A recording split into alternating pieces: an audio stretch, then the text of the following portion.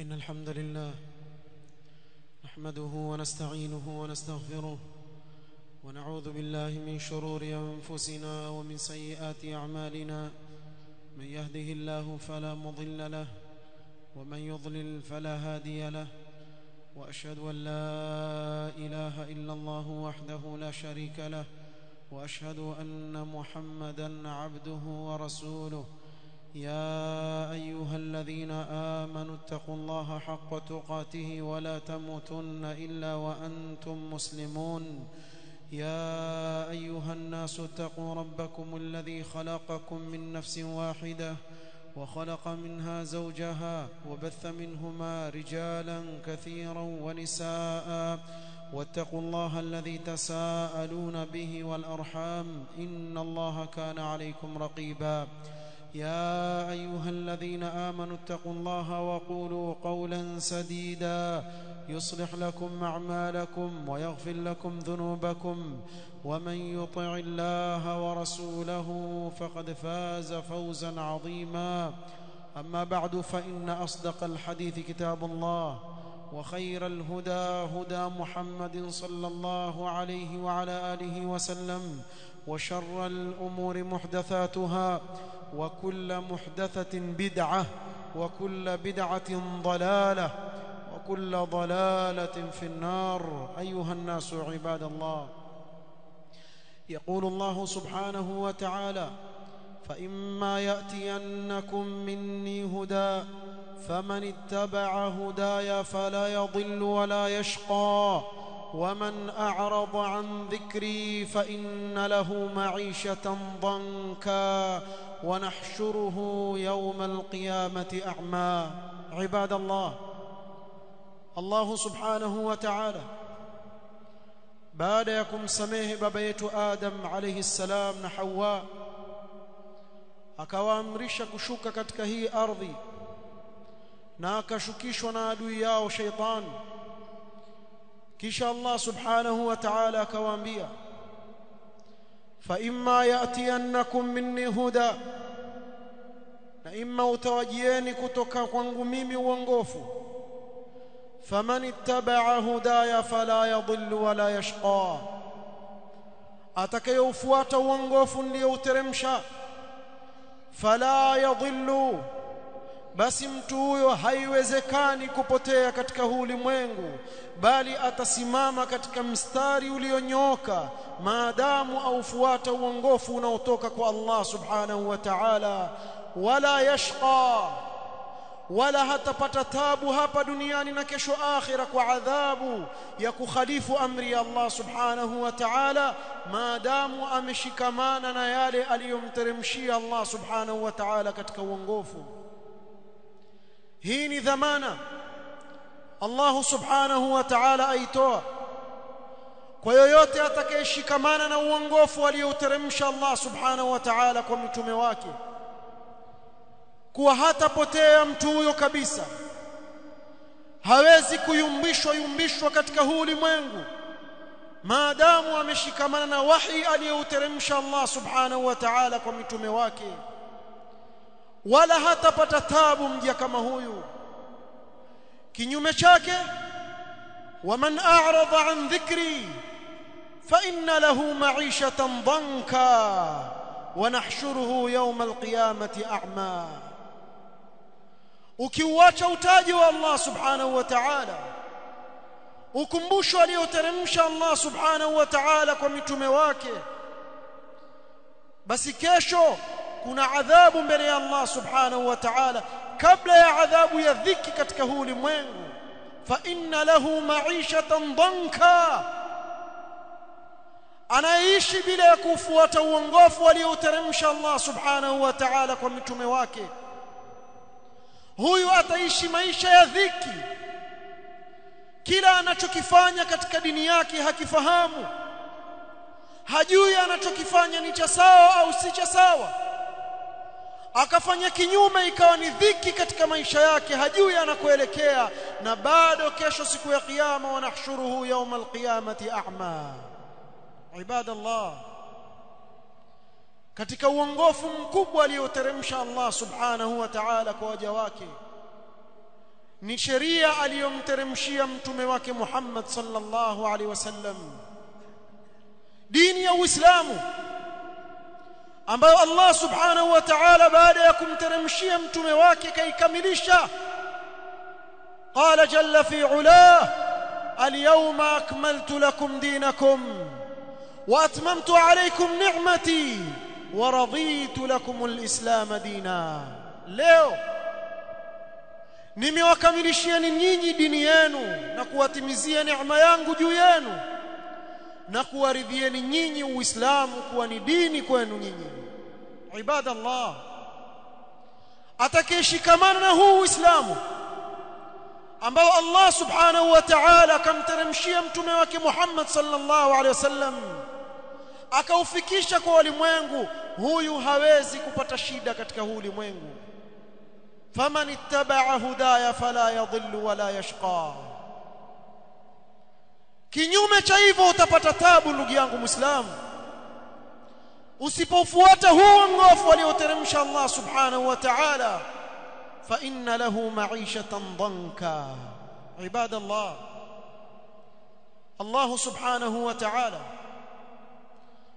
hakuna yeyote katika waja wake ambao ameweka kufaulu na kuongoka kuko katika kuwafuata isipokuwa mitume aliyowateremshia sheria yake يقول الله سبحانه وتعالى في نبيه صلى الله عليه وسلم وإن تطيعوه تهتدوا وما على الرسول إلا البلاغ المبين mkimtii huyu mtume basi kwa hakika mtaongoka hii ni dhamana haina shaka ndani yake anaizungumza ni khaliqus samawati wal ard wa in tuti'uhu tahtadu mkimtii huyu mtume hakika nyinyi mtaongoka bila ya shaka faman ittaba'a hudaya fala yadhillu wala yashqa bali mtume wetu sallallahu alaihi wasallam aliyeteremshiwa hii sharia na wahi huu aliyoteremshiwa Allah subhanahu wa ta'ala mwambie na kumwamrisha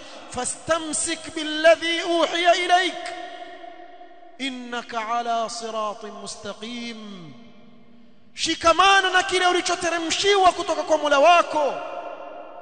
Kwa hakika wewe uko katika njia iliyonyooka. Sasa ikiwa mtume sallallahu alaihi wasallam na yeye ndiye aliyeteremshiwa sheria hii na Allah subhanahu wa ta'ala aamrishwa kushikamana na kile alichoteremshiwa na Allah subhanahu wa ta'ala.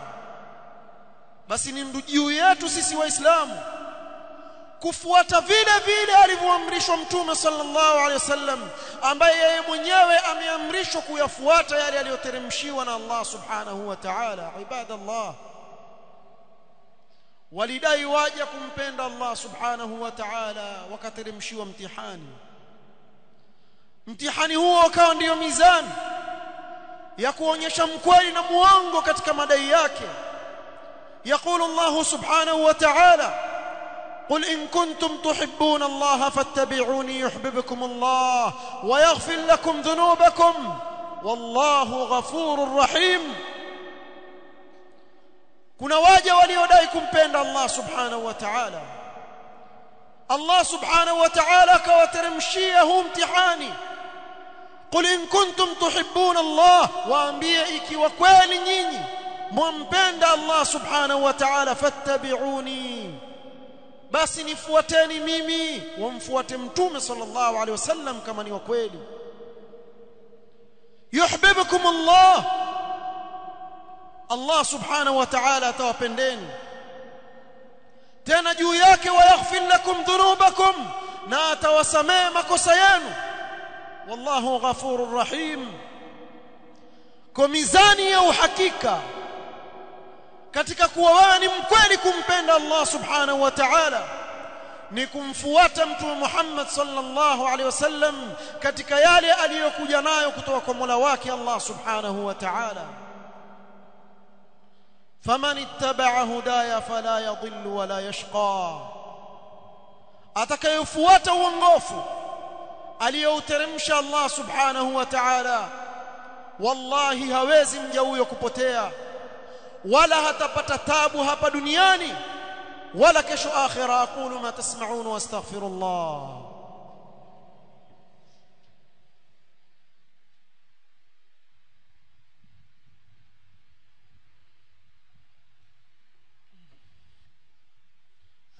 الحمد لله رب العالمين. والصلاة والسلام على المبعوث رحمة للعالمين. نبينا محمد وآله وصحبه أجمعين. أما بعد فيا أيها الناس عباد الله يقول الله سبحانه وتعالى ومن يشاقق الرسول من بعد ما تبين له الهدى ويتبع غير سبيل المؤمنين نوله ما تولى ونصله جهنم وساءت مصيرا. Upande wa pili watakao kwenda kinyume na uongofu alioteremsha Allah subhanahu wa ta'ala wal billah mbali na upotofu watakaojitumbukiza ndani yake katika huu ulimwengu kesho kuna adhabu kali mbele ya Allah subhanahu wa ta'ala الله سبحانه وتعالى يقول ومن يشاقق الرسول من بعد ما تبين له الهدى نمنكم معاصم تومه صلى الله عليه وسلم baada ya kuwa uongofu ushambainikia uongofu alioteremsha Allah subhanahu wa ta'ala umemfikia na kuwa wazi kwake yeye wayattabi' ghayra sabili almu'minin akafuata njia isiyokuwa njia ya waumini na waumini wa kwanza wanaokusudiwa hapa ni masahaba wa mtume sallallahu alaihi wasallam radhiyallahu anhum. Nuwallihi ma tawalla huyo tutamwelekeza katika huko huko alikoelekea katika upotofu wake. Kwa katika adhabu anaoipata hapa duniani ni kuwa azidi kuvama katika upotofu aliyakuwa hajijui. Afaman zuyina lahu suu amalihi faraahu hasana. Amepambiwa amali yake mbovu. Akaiona mbele ya macho yake kuwa ni njema kumbe ni mtihani na fitna Allah subhanahu wa ta'ala amemuingiza ndani yake kwa sababu ya kumuasi mtume sallallahu alaihi wasallam baada ya kubainikiwa na uongofu na isitoshe wanuslihi jahannam kesho ataonjeshwa adhabu ya jahannam wasaat masira na ni mahali pabaya palioje mtu kuishia katika moto wa jahannam ibadallah falyahdhar alladhina yukhalifuna an amri an tusibahum fitnatun au yusibahum adhabun alim watahadhari wale wanaokhalifu amri yake mtume sallallahu alaihi wasallam isije ikawapata fitna au ikawapata adhabu kali yenye kuumiza عن ابي هريره رضي الله عنه قال قال رسول الله صلى الله عليه وسلم كل امتي يدخلون الجنه الا من ابى mtume sallallahu alaihi wasallam aweka wazi hili jambo na kusema umma wangu wote wataingia peponi isipokuwa yule atakayekataa mwenyewe kuingia katika pepo ya Allah subhanahu wa ta'ala. Qalu wa man ya'ba ya rasul Allah masahaba wakashtuka ni nani atakayekataa kuingia katika pepo ya Allah ya rasul Allah قال من اطاعني دخل الجنه ومن عصاني فقد ابى رواه البخاري mtume sallallahu alaihi wasallam akaweka mizani na kusema atakayenitii mimi basi huyo ataingia peponi na atakayeniasi mimi basi amekataa mwenyewe kuingia katika pepo ya Allah subhanahu wa ta'ala ibadallah katika maisha yako muislamu leo wakutana na mambo mengi sana katika dini yako. Lakini usipohakikisha kuwa hili jambo je nimeamrishwa na mtume wetu sallallahu alaihi wasallam au la ukawa utalifanya bila ya kuweka mizani? Basi kuna hatari ya wewe kuingia katika kundi la wale ambao watapata tabu hapa ulimwengu wal billah katika huu ulimwengu na kesho akhira likija jambo lolote la ibada kwa kuwa muislamu jambo lolote la dini jua ni kaida lazima uiulizie. Je kuna dalili thabiti iliyothubutu sahih ya wazi kuwa Allah ametuamrisha na mtume wake sallallahu alaihi wasallam ibada kama hiyo au la? Ikiwa ipo basi fuata ni amri ya Allah subhanahu wa ta'ala na ni amri ya mtume Muhammad sallallahu alaihi wasallam qul hatu burhanakum in kuntum sadiqin. Una haki ndugu yangu muislamu kwa kila ibada unaoifanya mtu asikuelekeze bila ya kukupa dalili ya Qur'an au sunna iliyothubutu kutoka kwa mtume Muhammad sallallahu alaihi wasallam. Kisha uchunge. Wapo katika wale ambao watakutajia dalili kuwa hili jambo katika asli limeamrishwa katika sheria ya Allah. Lakini sifa anayoitekeleza ile ibada ikawa sio sifa iliyofundishwa na Allah subhanahu wa ta'ala na mtume wake sallallahu alaihi wasallam. Kwa mfano Allah subhanahu wa ta'ala ametuamrisha kutekeleza ibada ya sala akasema waqimu sala kwa hivyo asli ya ibada ya sala imeamrishwa na Allah subhanahu wa ta'ala lakini huwezi kuja leo ndugu yangu muislamu ukaiswali swala unavyotaka wewe. Adhuhuri katufundisha mtume sallallahu alaihi wasallam tuswali rak'a nne. Wewe ukaje ukasema mimi naona iwe rak'a sita. Kwa hoja gani? Wa aqimu sala tumeamrishwa tusimamishe sala waf'alu khaira tumeamrishwa tufanye khairi la hapo utaingia katika upotofu